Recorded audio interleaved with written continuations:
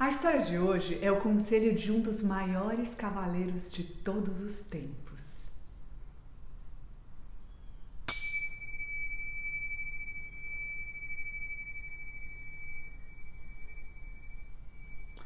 Era uma vez um cavaleiro chamado Marco. Ele era firme como uma rocha, o mais valente dos cavaleiros. Ele tinha passado toda a sua vida galopando no topo das montanhas era o mais belo nas batalhas e absolutamente invencível. Para as mulheres, que ele amava como um príncipe árabe, ele era indomável como um lobo. Assim era Marco, que Deus o tenha. Aconteceu que na sua velhice ele voltou para o vilarejo de lenhadores onde tinha chegado a esse mundo. As pessoas vinham de todo canto para lhe visitar, para prestar uma homenagem à sua bravura ou simplesmente para estar tá perto dele e sentir essa energia que a gente sente quando está perto de pessoas que são genuinamente elas mesmas.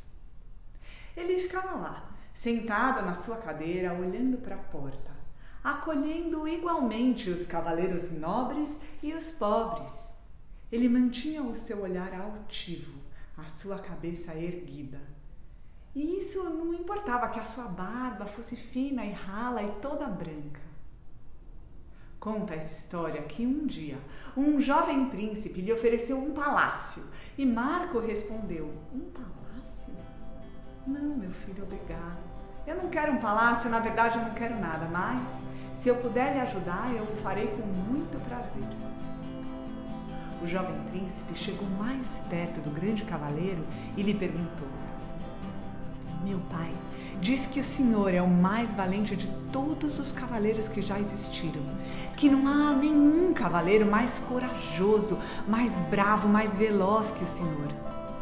Com quem o senhor aprendeu essa virtude? O senhor poderia me contar?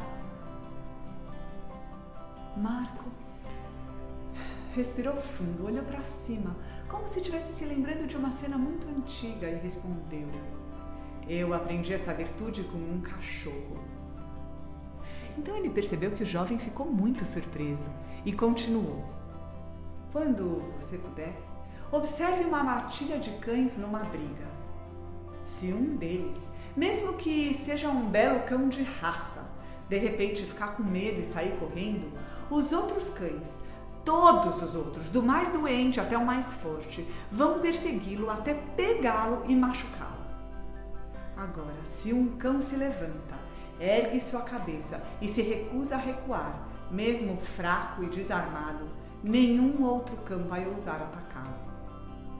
Uma vez, há muito tempo na minha infância, eu vi um cachorro vira-lata machucado intimidar assim alguns dos seus companheiros. Daquele dia em diante, ele foi o meu mestre e eu não tive mais nenhum outro. A história termina aqui e eu lhes digo que a gente sabe encontrar nossos verdadeiros mestres e que suas lições nos orientem a sermos cada vez mais conectados com a nossa essência, cada vez mais quem a gente realmente é. Muito obrigada.